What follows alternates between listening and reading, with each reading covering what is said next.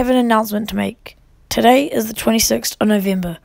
Starting on the 1st of December, I'll be making daily uploads. I'm not going to tell you what it is just yet, but you'll find it out later in the video. Now, these daily uploads will run from the 1st of December to the 24th of December.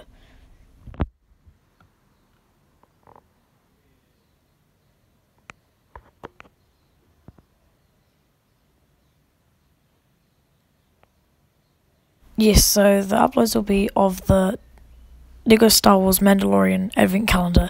Now, I've had this for since October, and I really need a good use out of it, so I just realized that this might be a good idea.